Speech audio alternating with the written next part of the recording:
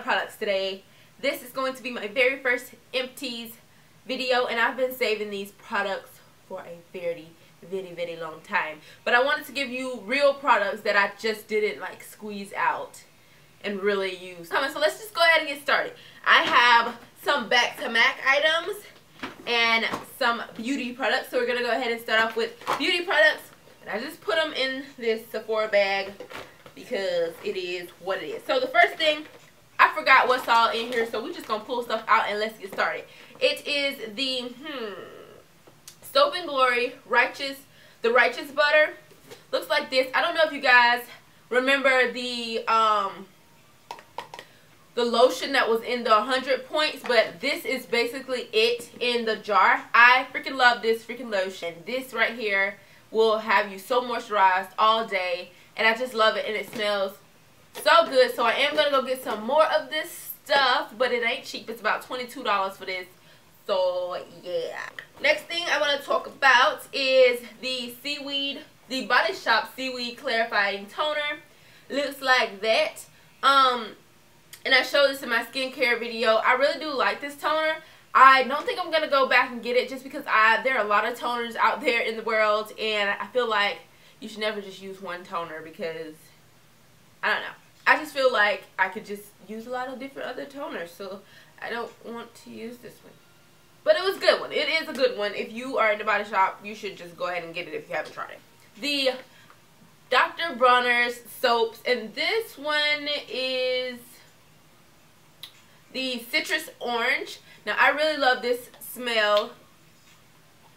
It smells really, really nice. Um, I use this to bathe in the shower and wash my face and all that kind of stuff. It's really good for that. This is the big one. It was about 17 bucks, but as you know, I already like the Dr. Bronner soaps. I already have a video on the soaps, how I felt, my initial review on this and everything. But if you don't know about Dr. Bronner's, you may want to check it. It's really good for your private parts and all of that because it gets everything super clean. And just a little background, it's 18 in 1, so you can use it for 18 different things, but you can actually use it for a ton of different things.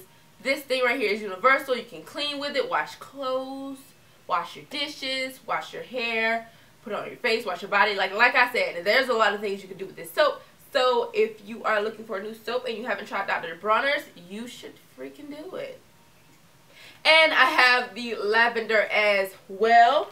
Now this, the lavender one was of course cheaper because it's smaller and you can find these at Walgreens. Alright, the next thing I got is a Cetaphil and this is the Daily Facial Cleanser. I really love this stuff.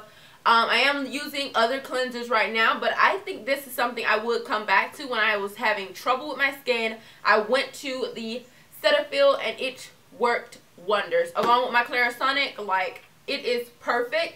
And you always want to make sure you get the normal to oily skin. Even if you have sensitive skin, they say the sensitive skin one sucks. So, I recommend you going out and getting this if you're having problems with your skin. Um, but it's really, really good. It's really I think it's, yeah, dermatology recommended and all that good stuff, non-irritating. So if you have trouble skin, then I recommend getting some of this stuff. The, this is the Mary Kay Normal to Oily Skin Oil-Free Hydrating Gel. And it has a really nice clean scent. I haven't been able to find this. If you know where I can find this, I would love to get some more. It's a cream type of moisturizer. It's like a gel. So I really like this. It's, I don't know, it's perfect. For people with oily skin, this is perfect. Any gel type of moisturizer will be perfect for you. And I just think this was a really good one. So, yeah. The next thing I'm going to talk about is the Maybelline Defined Brow. Now, I had this for a long time now. And I thought I would like it. But honestly, I didn't um, I don't know. It was just a, a brown pencil to me. So I didn't see any hype in this. So I will not be repurchasing this.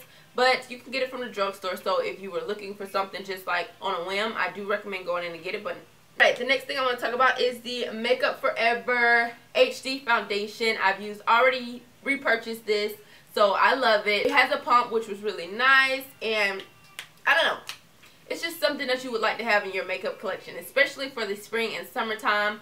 It is everything. So I do recommend you getting this, especially if you don't have much to cover. This will be so perfect for you. And this is literally one of my all-time favorites. This is the Shea, but, um, Shea Sugar Body Scrub.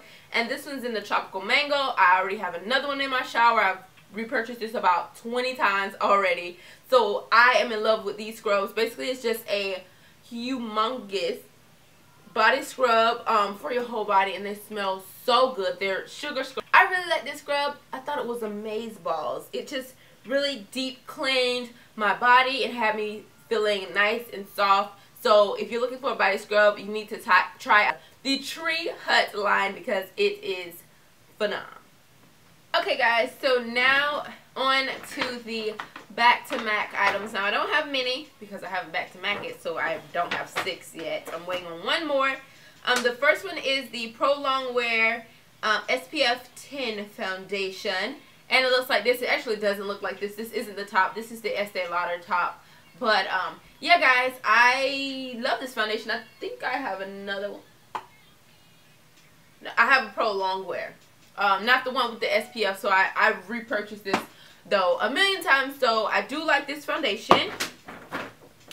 The next one that I have is the Select SPF 15 foundation. Um, and this one was in the a um the shade NC50. The first one's in NC50, and this one was in NC50 as well. And then I have a MAC Fix Plus. Now, I am in love with MAC Fix Plus. I do already have another one of these. So, if you haven't tried it, I say give it a go. Just a finishing spray. Not really a setting spray. Just like a finishing spray. If you want to add like that kind of a little bit of glow to your skin, I definitely recommend you setting your makeup with the Fix Plus instead of like a setting spray. And uh, two other things really haven't ran out, but I'm back to macking it um, I have the blush love thing and the blush amber rose. So I already depotted these and put them into my MAC palette. So I'm going to be back to macking these. So that's pretty much it for all of my empties, guys. So I hope you guys like it. If you did, give it a thumbs up. And I'll try to save all of the other things that I may have and I may want to um, throw away. But I will keep them if you like this video. So I hope you guys have a great weekend. And I'll see you guys in my next video. Bye.